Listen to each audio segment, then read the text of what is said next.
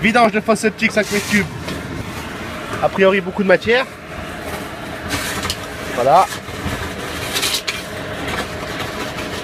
Fosse toutes eaux, pardon, pas fosse septique. Hein.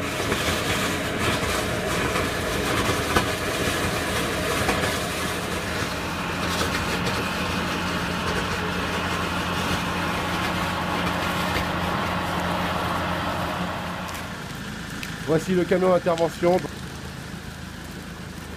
Donc ici, nous avons la vanne pour le pompage, pour aspirer les fosses septiques.